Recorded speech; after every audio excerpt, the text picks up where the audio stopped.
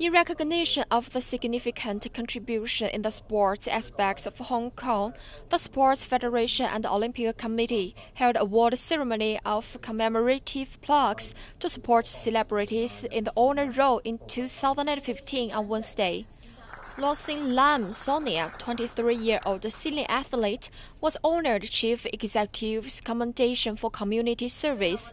Together with three teammates, she had won two silver medals and two gold medals in 2014 Asian Games for Hong Kong delegation.